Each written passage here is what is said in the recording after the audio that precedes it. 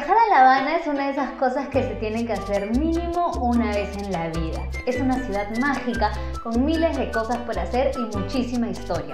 Una historia que se puede ver en cada rincón de la ciudad y en las caras de su gente. Entre sus colores, sus autos clásicos y su revolución, La Habana parece estar paralizada en el tiempo. Si planean ir a La Habana pronto, acá les dejo unas experiencias que no se pueden perder. Llegamos al aeropuerto de La Habana eso del mediodía, nos demoramos un poco en salir porque nos revisaron la maleta, después quisimos cambiar plata en el aeropuerto y no pudimos porque la máquina se malogró y de hecho se quedó con los billetes adentro. Tuvimos que esperar a alguien para que llegue y nos devuelva los billetes. Entonces tomamos un taxi en el aeropuerto que nos llevó al centro por 30 cook, pero le pedimos que pare primero en una casa de cambio como digo, todo, todo esto, la parada en la casa de cambio y llevarnos a nuestro hospedaje, nos costó 30 cook. Nos quedamos en una casa particular de Cuba. Las casas particulares son casas de personas, donde las personas viven y alquilan un cuarto. No es exactamente lo mismo que Airbnb, una habitación privada, sino es más, que, es más como un hotel. Lo que las personas a veces hacen es te ofrecen desayuno, obviamente por un precio, a veces también tienes un frigobar con agua y cervezas adentro que, que cuestan plata, como si fuera una tienda, ¿no? Bueno, nosotros nos quedamos en la casa de Lisette, que para esto me encantó y la recomiendo. Lisette es lo máximo y la casa queda en el centro, queda a unos pasos del malecón ¿verdad? Si están buscando alojamiento, la casa de Lisette es 100% recomendada. Llegamos a su casa a eso de las 2 de la tarde. Nos moríamos de hambre y ella nos recomendó que vayamos al Vicky, que quedaba a unas cuadras de ahí, que es un restaurante donde hay platos típicos cubanos. Este, a Francisco y a mí nos encantó. Nos pedimos entre los dos una ropa vieja, una fritura de malanga y una ensalada. La ropa vieja y la fritura de malanga espectaculares. La, la ensalada también rica, ¿no? Pero fuimos a comer ropa vieja este, que es un plato típico cubano, un plato hecho con carne deshilachada y con, te lo con frijoles y arroz. Bueno, la cosa es que recomiendo 100% el Vicky. Después de comer, ya con la barriga llena y el corazón contento, decidimos comenzar nuestro recorrido por La Habana yendo a la Plaza de la Revolución. Así que fuimos por ahí, llegamos más o menos a la hora del atardecer, el atardecer se veía, desde ahí se veía lindo. De ahí, como nos encanta caminar, decidimos ir por las calles del Vedado hacia la fábrica de arte cubano, que iba a ser nuestra siguiente parada. El barrio del Vedado es un barrio muy bonito, es un barrio que en algún momento perteneció a los aristocráticos de La Habana. Obviamente con la revolución esto dejó de ser así. Y ahora paseando por ahí se ven estas grandes construcciones coloniales, algunas siguen en pie, algunas ya están medio destruidas, pero la zona es súper interesante y les recomiendo que vayan a pasear por ahí. Y bueno, después de caminar un buen rato llegamos a la fábrica de arte cubano, a la FAC, que es un laboratorio de creación interdisciplinaria. Es una propuesta súper interesante en la que se mezcla vida nocturna con arte. En el espacio hay obras plásticas, hay un restaurante bar y hay un espacio para bailar. Abre de jueves a domingo a partir de las 8 pm y la entrada cuesta 2 cook. Es el plan perfecto para hacer algo en La Habana en la noche.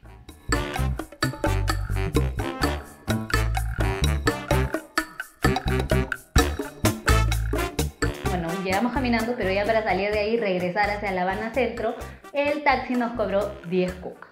Y ese fue nuestro primer día en La Habana.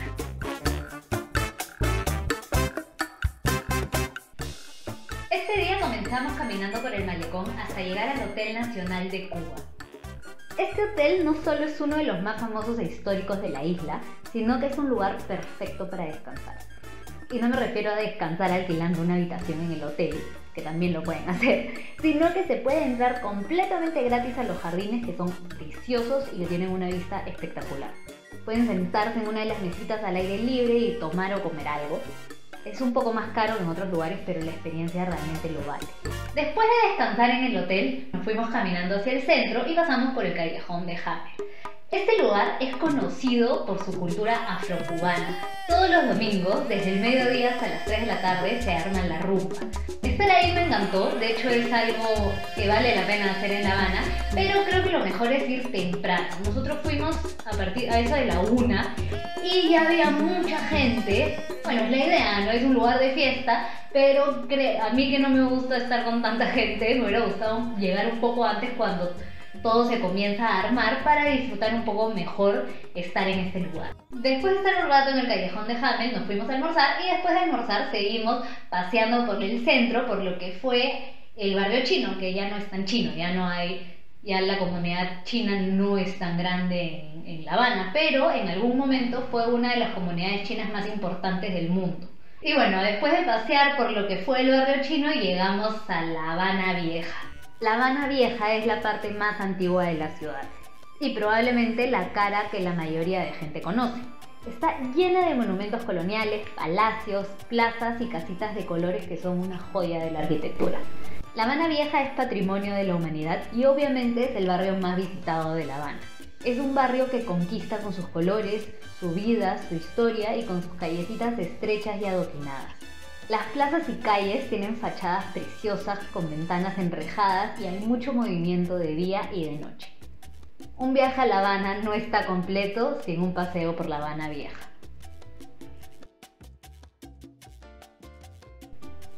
Y hablando de La Habana Vieja, es aquí donde queda uno de los bares más famosos de Cuba y probablemente del mundo, la bodeguita del medio. Miles de artistas de distintas nacionalidades han pasado por ahí dejando su huella en las paredes. Adentro el ambiente típico cubano, hay música cubana, hay platos cubanos y hay tragos cubanos.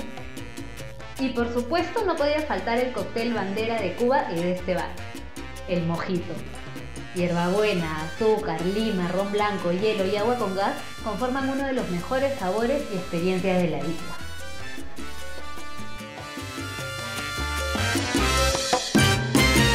Y para terminar nuestro día con broche de oro, nos fuimos hacia el Morro a ver el atardecer. Llegamos al castillo de los tres reyes del Morro, que tiene una vista privilegiada, se ve toda La Habana, en verdad la vista es alucinante y ver el sunset desde ahí, ver cómo cae el sol en el mar y toda La Habana de fondo es, es precioso, es una experiencia que vale la pena de todas maneras.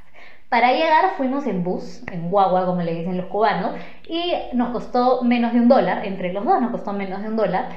Decidimos ir en bus porque ir hacia el morro desde cualquier lugar de La Habana, ya sea La Habana Vieja o Centro Habana, cuesta 10 cook y vimos que en, que Guau era bastante fácil. Fuimos hasta ahí, nos bajamos en la parada y caminamos un rato hacia allá del castillo de los Tres Reyes del Morro. Vimos el atardecer y después de eso nos fuimos a la fortaleza de San Carlos de la Cabaña para ver la ceremonia del cañonazo. Desde la época colonial, todos los días a las 9 de la noche suena un cañonazo en La Habana. Es el cañón que antes anunciaba el cierre de las murallas de la ciudad. Este ritual de tantos años se realiza en la fortaleza de San Carlos de la Cabaña. Es un lugar hermoso con una vista privilegiada.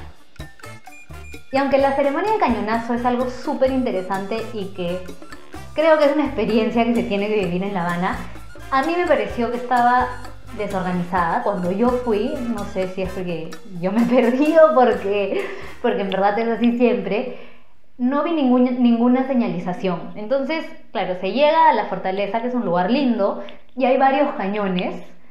Y el problema es que todo el mundo está disperso alrededor de estos, de estos distintos cañones y llega un momento en el que todo, se, todo el mundo se junta alrededor de uno, que es obviamente donde va a ser la ceremonia, y yo me quedé atrás y yo mido un metro y medio, entonces no vi prácticamente nada. Vi la ceremonia a través de pantalla y Francisco me cargó un ratito pero no llegué a vivir realmente esta experiencia. Se pagan 8 cook para entrar y en verdad si no estás adelante siento que los 8 cook no valen la pena.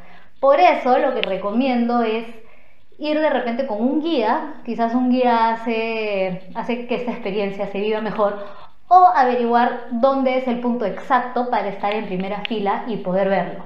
Y cuando terminó toda la ceremonia ya quisimos regresar, para eso salimos de la fortaleza y al frente hay varios taxis.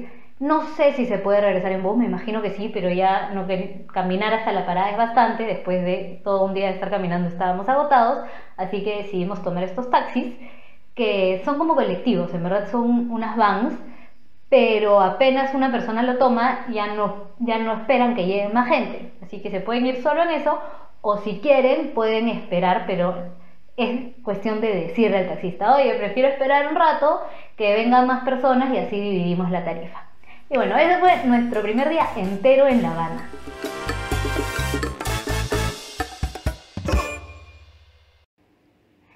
también arrancamos caminando por el malecón, pero esta vez nos fuimos para el otro lado, nos fuimos hacia el lado del castillo de San Salvador de la Punta, que en verdad no es que sea un castillo, sino es más una explanada que tiene una vista hermosa de la ciudad.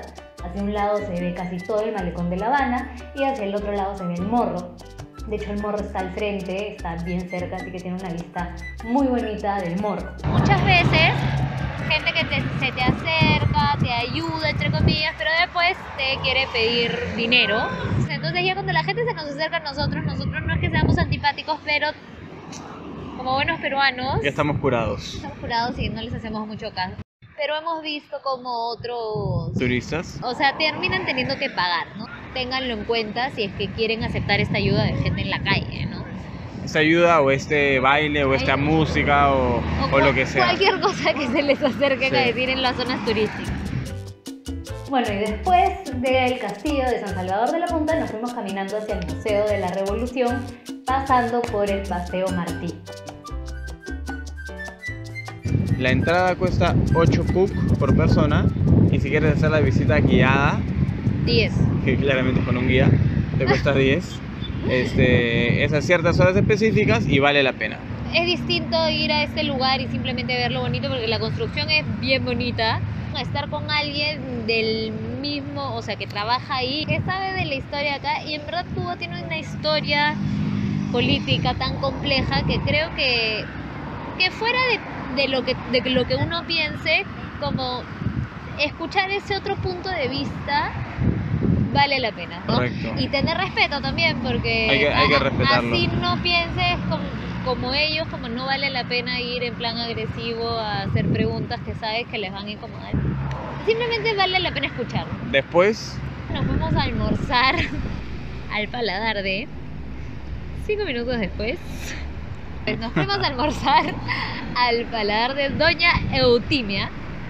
Para esto, si es que quieren ir ahí, tienen que saber que es como un callejoncito y había un señor que le decía a Francisco como, ¿Do you remember me?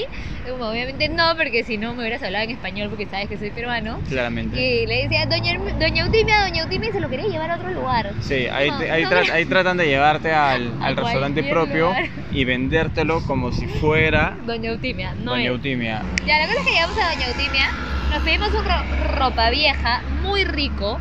De hecho, nos hemos pedido dos, el de Doña Eutimia y el del Vicky, muy recomendable. Y lo que sí tengo que decir de Doña Eutimia es que es el mejor mojito que he tomado en La Habana. Normalmente te recomiendan la bodeguita, bodeguita del medio. Que también es buenazo. El lugar es muy bonito, vale la pena ir, pero a mí particularmente me pareció que la bodeguita del medio era un poco cara para lo que daban. Este lugar me parece es más barato. Igual es precio turístico, es 2.50 en vez de 2 en otros lugares, o sea, está ahí nomás. Y a, 2.50 cup. y a mí me gustó más el sabor del mojito, ¿no? La cosa es que terminamos de estar ahí y nos fuimos a- al Capitolio. Ya habíamos ido, pero fuimos para hacer nuestro paseo en Almendrón. que es un almendrón? Almendrón es como se le conoce a los autos clásicos en Cuba. A estos autos clásicos que son un símbolo de La Habana y de todo el país. Fue en la Plaza de la Revolución. Hasta hace tres años que es el Parlamento y Congreso. ¿Ok?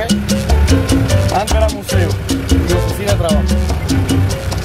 Aquí tuvo Beyoncé, Rihanna, Madonna. Estos autos han convertido a La Habana en un museo al aire libre prácticamente y ayudan a dar esa sensación de que Cuba está paralizada en los años 50 o 60. Chevrolet, Cadillacs, Buicks y miles de marcas con sus modelos antiguos hacen de La Habana un paraíso para los amantes de los carros. Y aunque yo no soy tan amante de los carros, fue imposible no sentir la emoción de subirme a un Buick de los años 50 y recorrer el malecón de La Habana con los pelos en la cara como si estuviera en una película.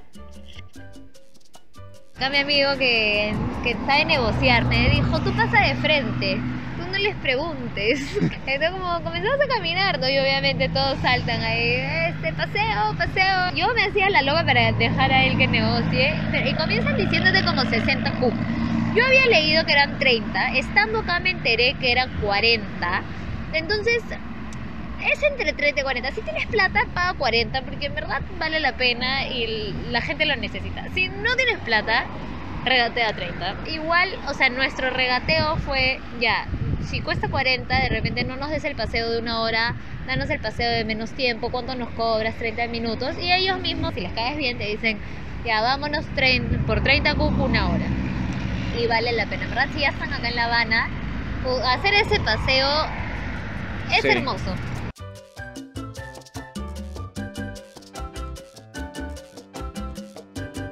Cuando terminamos nuestro paseo en Almendrón, queríamos ver el atardecer desde el malecón. Ya lo habíamos visto desde el morro y, bueno, espectacular, pero también habíamos leído que el, el atardecer desde el malecón es mágico y es cierto. Realmente ver el sunset desde el malecón es una experiencia que no se puede describir con palabras.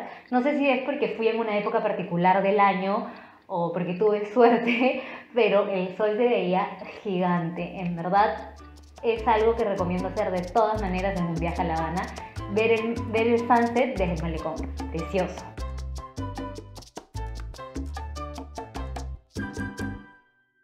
Después de caminar más o menos 20 kilómetros todos los días y de terminar realmente cansada, tengo que despedirme de La Habana y decir que me encantó las casas de colores, la gente que he conocido ha sido lo máximo.